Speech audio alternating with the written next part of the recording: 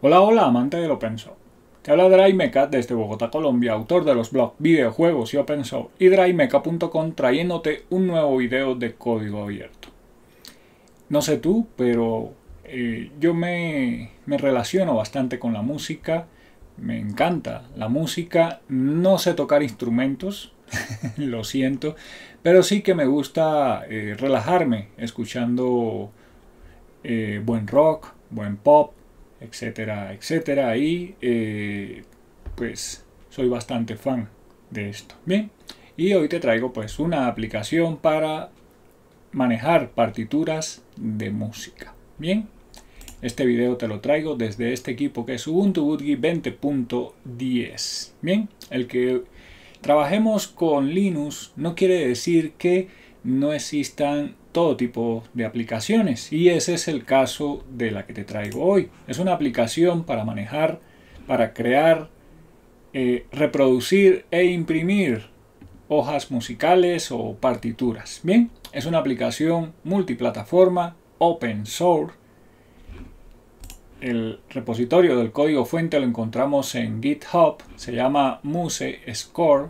Bien, tiene eh, pues es una de las aplicaciones que tiene muy buena puntuación en GitHub. Bien, entonces pues es una recomendada.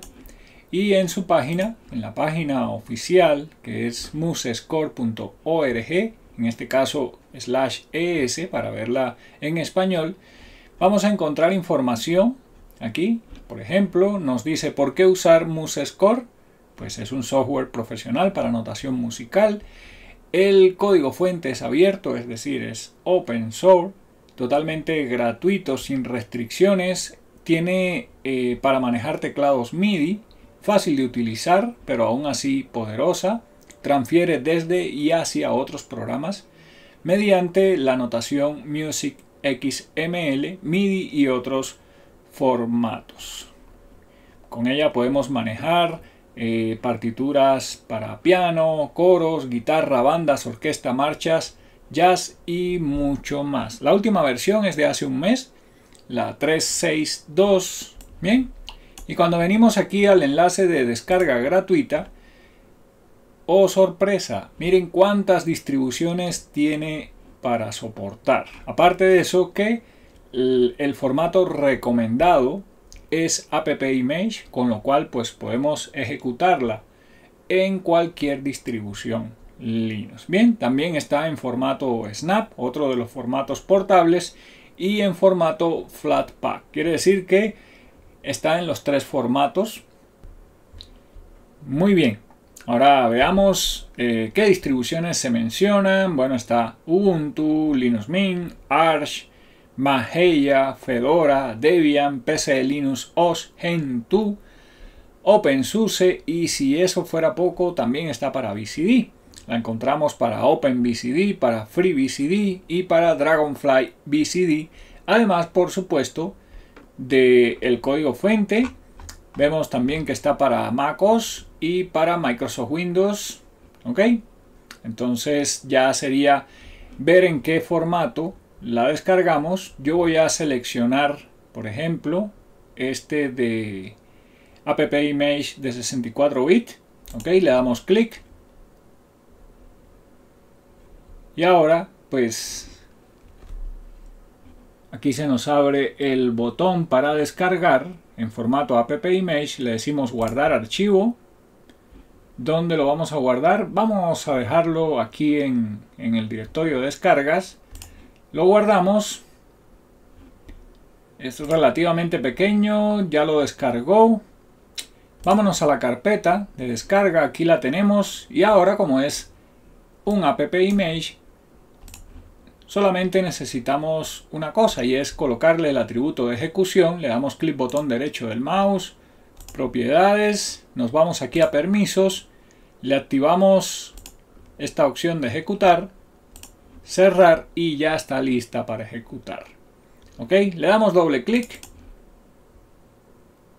con lo cual abre la aplicación y la primera ventana que nos aparece es pidiéndonos permiso para enviar reportes anónimos. Nos da básicamente dos opciones, sí o no enviar. Aquí nos eh, comenta que Music o Muse Score no va a recolectar información personal o sensible como localización, código fuente, nombre de archivo o música. Esto básicamente es para apoyar el desarrollo de nuevas versiones. Bien, entonces aquí le decimos, por ejemplo, sí, si queremos eh, pues eh, formar parte de esas estadísticas o no enviar si no queremos pues que nos recolecten esa información anónima. Bien, entonces ya con esos datos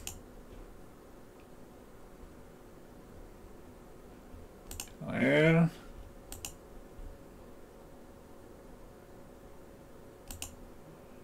bueno ahí no me tomó ahorita bien el, clic Ok, aquí nos aparece un asistente ahora, donde nos da la bienvenida a Muse Score.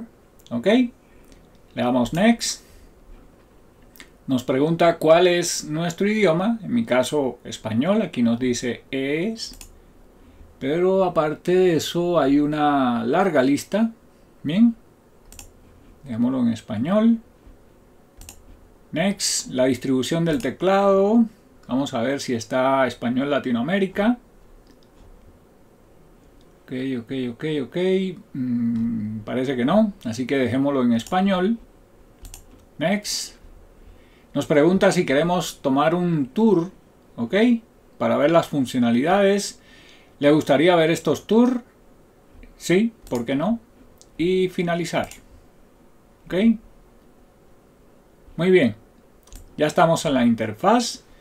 Eh, te cuento que aunque me gusta la música, no es que sea músico.